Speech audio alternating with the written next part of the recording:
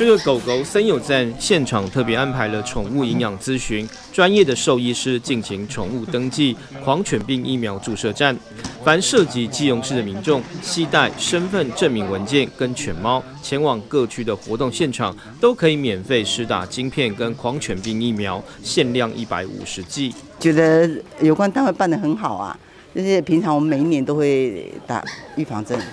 有，我觉得，因为其实因为它是网络上领养的，所以没有打晶片。然后想说借由这次的活动，其实我是刚好网络上看到，然后发现说，哎，原来就这边有这么好的活动，然后又不用钱，所以就赶快带它来。它比较安全，我们也放心呐。哦，虽然说很少，因为它现在年纪大，很少带它去出去遛狗，但是我觉得还是打，我们每一年都有打。它乖吗？超乖，超乖哦！它本来一开始有那个分离焦虑症。就是只要没有看到我们的话，它可能就一直发抖，一直发抖。然后到现在养了大概几个月了，它现在很大胆。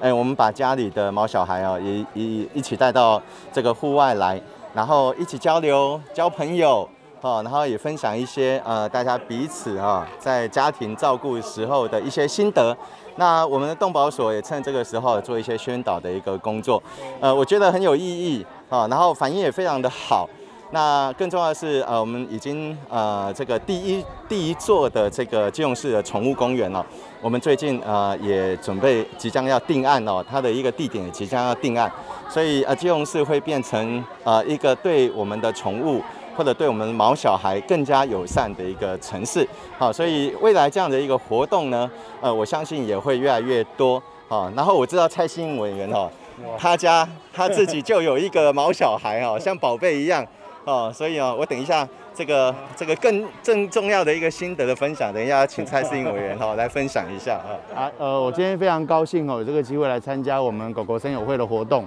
那事实上我也是这个爱狗人士哈。那其实呃，过去很多次的活动我都有来参与。那我当时也跟市长聊过很多，就是说其实基隆市的毛小孩的家庭是非常多的，所以除了举办相关的活动，让各位毛毛小孩能够多多的联谊之外，我觉得基隆应该要尽速来成立宠物公园。那目前我们在几个地方都已经看到，喂，你那么激动，